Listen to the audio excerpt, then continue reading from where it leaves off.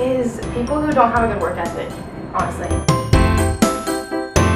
my gosh, I would buy so much Carbon Goon, like look. I love Christmas so much. Like, it's not even funny, I love Christmas. It's just so cute. Everything is cute about it.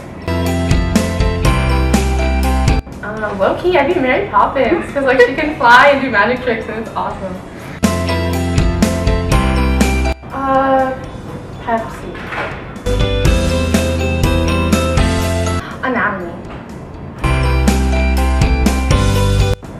Want to be a pediatrician. Walden and Civil Disobedience by Thoreau.